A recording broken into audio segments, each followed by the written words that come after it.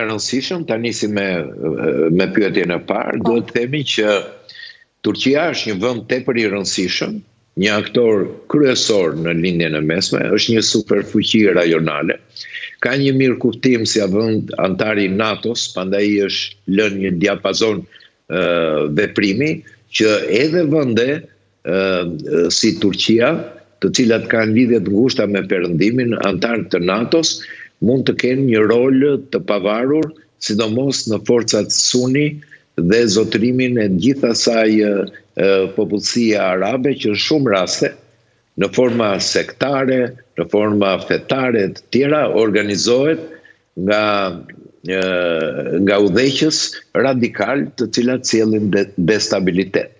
Prandaj roli i Erdoganit që duhet të bëjmë një parantesë është një lider vërtet një burrë shteti, është që të marrë këtë udhëheqje në Lindjen e Mesme, sidomos të forcave muslimane. A rrezikohet Turqia nga Izraeli? Unë mendoj që jo.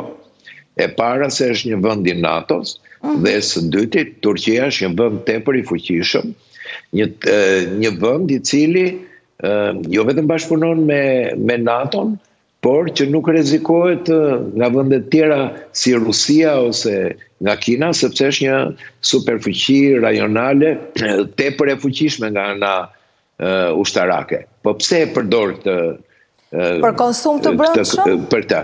Edhe Apo për jo konsum vetëm. të brendshëm, jo vetëm, mm -hmm. ju mhm. keni të drejtë për arsye sepse Izraeli ka përkrahur kurdët që janë armiqtë tradicionalë, janë fraksionet politike brenda Lindjes së Mesme, janë interesat që Izraeli gjithmonë e shikon me dyshim Sirinë, e cila bashkëpunon me me Iranin, me Hezbullahun etj. Është një vend tepër i dyshimtë për Izraelin dhe është nën goditjen e tij, por Turqia ka ato synimet, ka influencat e saj, ashtu siç ka edhe influencat si një rikthim i Perandorisë Neo-Otomane edhe në Ballkan.